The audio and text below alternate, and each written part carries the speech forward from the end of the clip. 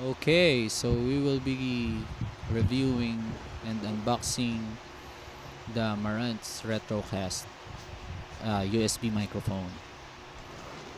Um, so here's the box, which uh, just came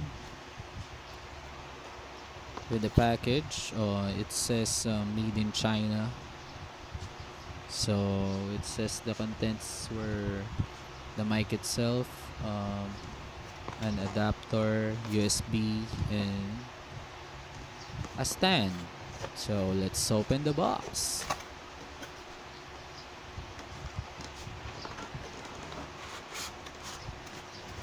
Oh, alright. Um, the manual, as usual. Okay, let's throw that away. and the mic. Wow. Wow. It's like the real thing. Yeah, it's heavy. Uh, just like how it, it was advertised. I think it's really um, it's really iron casted.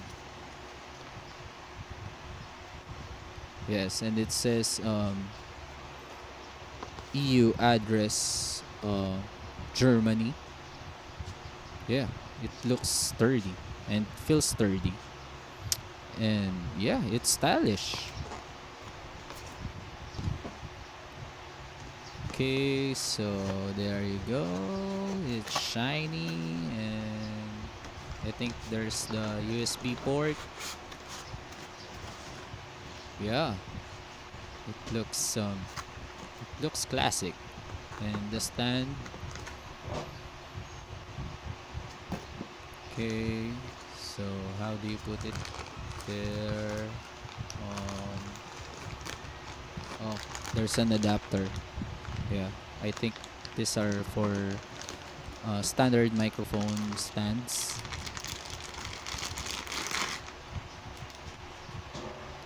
So, yeah, it fits there. Oops, I think, yeah, I think.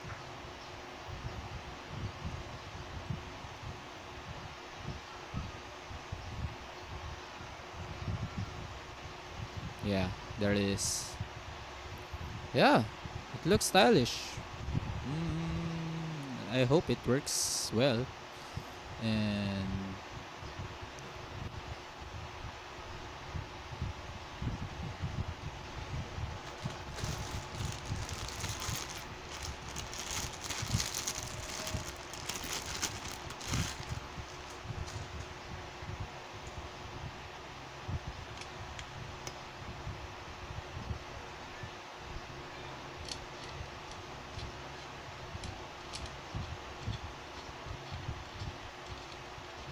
Okay, I think that's it.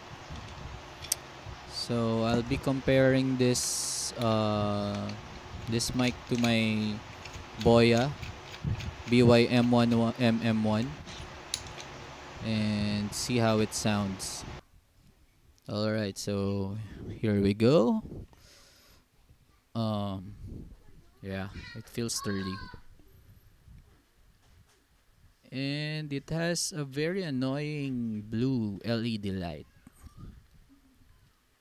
But overall yeah it looks good. You can swivel or pivot it around like this.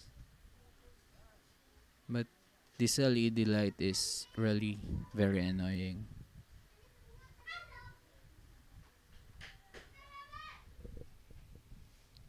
Okay, so let's go to the sound test.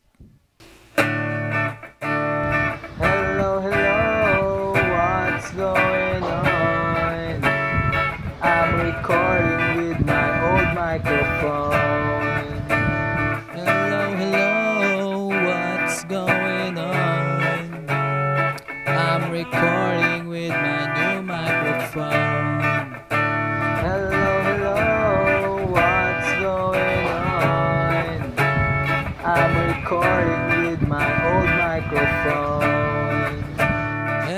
hello, what's going on? I'm recording with my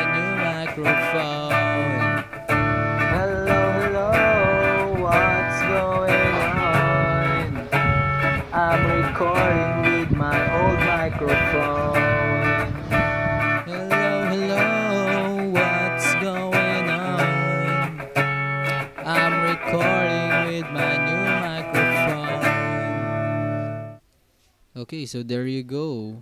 Uh, that's Marantz um, retrocast for you, and I think the only problem with this um, microphone is it doesn't have a mute button or a volume gain button like um, the Samson Meteor, which pretty much at the same price range with the Retrocast, and it sound very good. This one's um, sounded very good, in my opinion. So let me hear from you. Uh, drop a comment if you want. And that's it for today. Thank you very much.